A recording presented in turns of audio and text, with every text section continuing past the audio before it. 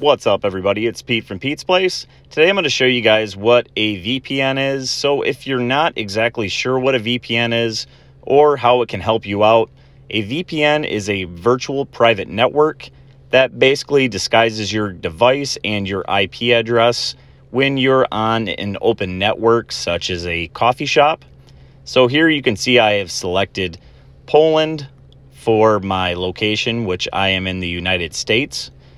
And so uh, as soon as this connects, um, it'll say connecting at the bottom. Now I have a new disguised IP address. And so from this point, I can go to Google and check my IP address.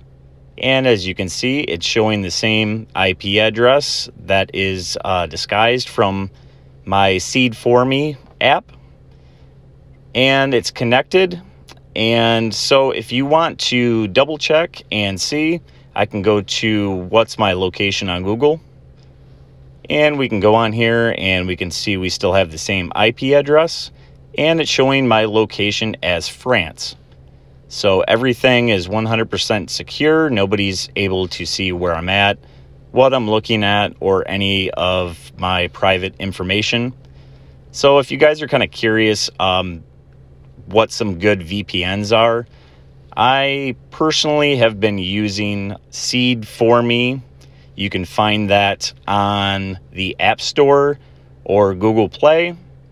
And it just works really, really good for me. I've had zero problems with it at all. And I highly recommend it.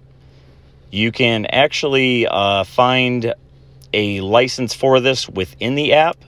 Or if you're looking to save a little bit of money, you can go ahead and go over to eBay and you'll see that uh, we have this for 180 days for 339 so you can get a better deal and basically what you're doing here is you're buying uh, someone's license from ebay and so they will give you their login and their password.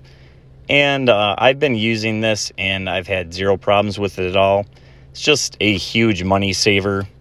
But that is what a VPN is, guys. And like I said, go ahead, check out the app now.